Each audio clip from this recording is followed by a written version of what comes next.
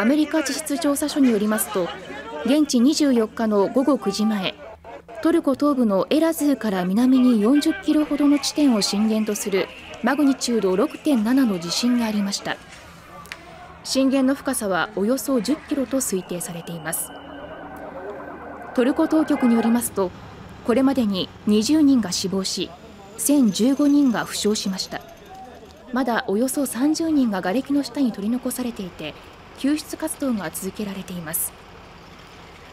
当局は余震の恐れがあるため倒壊した建物には戻らないよう住民に呼びかけています。